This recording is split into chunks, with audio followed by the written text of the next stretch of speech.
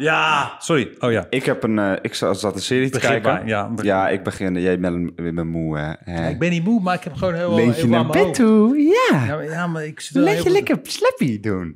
Lekker slappy. Nee, ik was een serie aan het kijken en die heb ik aan Leen gegeven. En die le- vond Heb Leen je aan mij gegeven? Ja. Joh, houd je mel, man. Hier, hier heb je Netflix. En ik zei van Alsjeblieft. Leen, ga eens kijken. En toen zei hij, nee, vind het helemaal kut. En toen zei ik, ja, kijk nou door. En eh nu vind je het leuk. Ja, in het begon... het begon namelijk... een- Excuses. hoe heet het? Five Star Chef? Five Star Hotel. That is not correct. Because according to the encyclopedia, Voor mij is het Five Star Chef.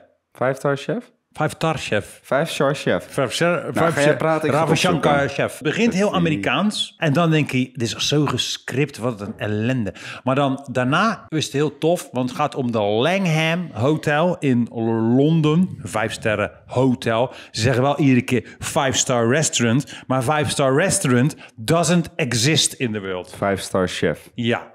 En five star chef vind ik ook geen goede benaming. Het is een Brits eh, ding, hè? Ja, maar in de sterrenwereld heb je vijf sterren hotel Ja. en drie Michelin sterren max. Ja. En niet vijf Michelin sterren.